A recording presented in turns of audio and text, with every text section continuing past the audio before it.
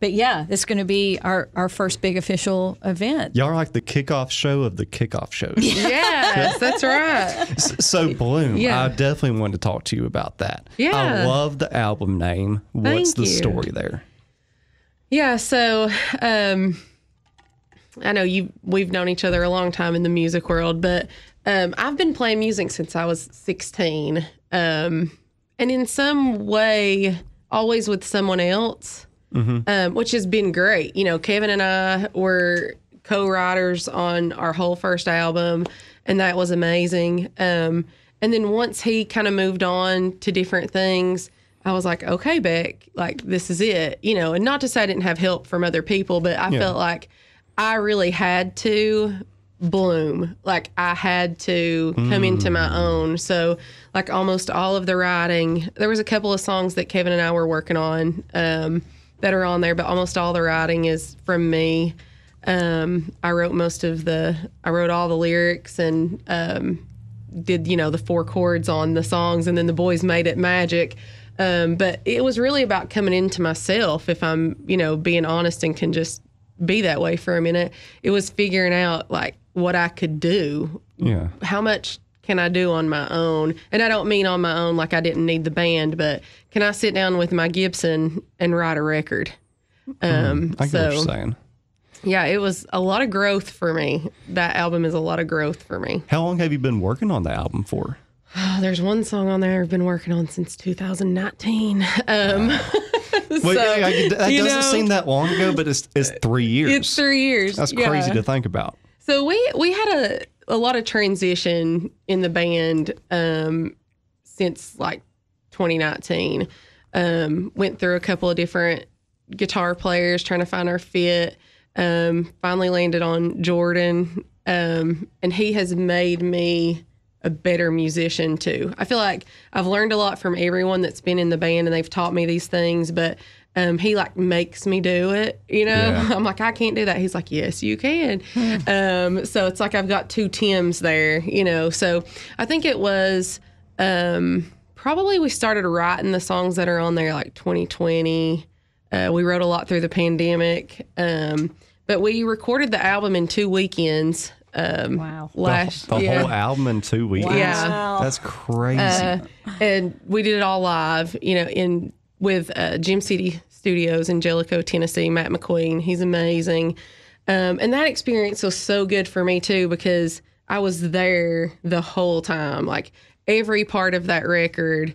Um, we all discussed and we all made those decisions, and it was just like you're listening to really so much of us on that record. Um, it was a great experience, but being able to get the right people and it just fits like Jake and Tim and Jordan and Adam. Adam's from Harlan plays harmonica. I feel like you already know Jake, so um, but they just can look at each other and it just it just goes. So, I mean, that kind of when you get that, and I think you can hear it on the record too. Like you can hear their little runs and they're they're all together. So, I'm proud of this record. Really proud of it. y'all have an amazing band. Thank like every time I get a chance to see y'all live, it just it rocks. Thank my, my favorite song uh, to see live, at least, is "Letter." I love. We're gonna play that at the album release. Yes, I love that song. It's to me that is oh, it just rocks. Yeah, it, it pumps me up every single time. Yeah, that's a really fun song. so like, is uh, this kind of a special time for y'all to release it? How did you like pick this release date? I wish it was like magical, but um, we were just waiting for the right time, waiting for the right time, waiting for the right time, and it never felt like the right time. I was like, it doesn't feel right. This is going on. That's going on. This is going on. And finally, I was like, we're just gonna do it. Like we're just we're just gonna do it. And I think it did work out perfectly though, because it works out perfect with the Mountain Girl experience and the kickoffs and all that. But um, we just thought spring. spring. yeah, we just thought like spring. Oh, I didn't even think about that. bloom, You know, so um, yeah. Very cool. Yeah, that just hit me too. Yeah. That's yeah. Uh, so that that was kind of our thoughts. Yeah. Neat. I feel like that was my blonde showing right there. I didn't even think about No, spring. no, no, no. And you're you're getting it in the week of spring too, because I think Yeah. spring's coming up this weekend. Yeah. Nice. Um, Yeah, so Very it's it's just a different experience for me, and I guess I'm almost like gushing over it because I'm just so proud of it. I'm so I can't wait for everybody to hear it, but I'm also like, I hope nobody says anything bad because it's like my new baby, you know. Yeah. I, of course, I can take the criticism, but I'm just so happy with it. I'm, I'm just love it. I like the album cover too. Uh, did you design that? No, or who- Matt who that? Bartley.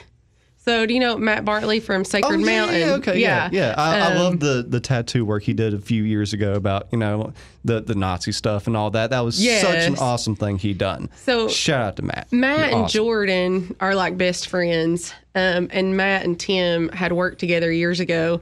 And then just through our, you know, everybody in that band is so heavily tattooed in our band. it's just, Does Jake have tattoos? Jake, Jake is the only one. Okay. Um, I I would love for you to ask Jake his thoughts on tattoos uh, uh, off air, but it's it's a hilarious argument he has about it. But um, so we all know Matt, but Matt and Jordan were talking, and I was like, you know what, Matt would make me so happy if you would just like listen to this record, just listen to it, and then just tell me what you think, like draw me something. Oh wow. And so, So he, he drew that? Yeah, that's his artwork. That's his original artwork. I thought that was just like a picture of a rose. No, Matt drew that. That's he. He listened to the he's so record and drew that. So I, I think I need to clarify what I said about him too. I probably sounds bad to some folks out there that don't know Oh, the, his the, the background. Oh, yeah, I was, yeah, I was like, oh, the Nazi stuff. He's not tattooing Nazi stuff. He, he's tattoo. He was tattooing over Nazi stuff. Anybody Yeah. who had any type of like you know a racist tattoos yeah, or, or, or something any like type that. of hate-filled imagery that was a tattoo on their body